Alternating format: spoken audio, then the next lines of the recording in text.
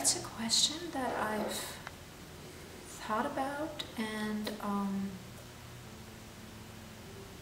the idea of that men and women, I mean, it's such a powerful question, it's such a powerful um, vision, right? Um, you could see it being transformed in the sense of presumably then I would hope that questions of violence would go away, right? Questions of inequality, discrimination that is based in this in gender inequality, those things would go away. And in a sense, I mean, maybe it has to do with our vision of a world in which gender doesn't matter. In other words, if it mm-hmm. really is equal, then possibly we can see the multiplicity of gender, right?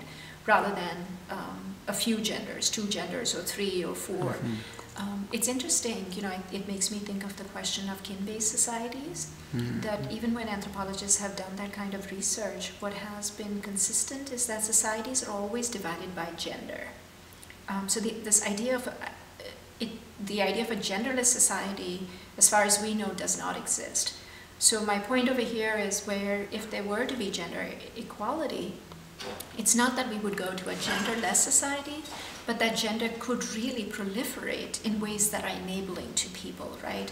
Rather than something that is restricted to two or three.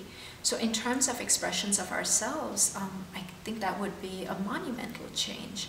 Um, but even in terms of structural issues, structural inequality, structural violence, um, domestic violence, but also violence that you know exists in the form of communities of women um, being somehow outside of um, development, technology, modernization, all of the things that we mm-hmm. hold to be really, you know, sort of the the promises of progress for them to be systematically remaining outside of this. I mean, so the structural as well as the interpersonal would change tremendously. So yeah, that's how I see it changing.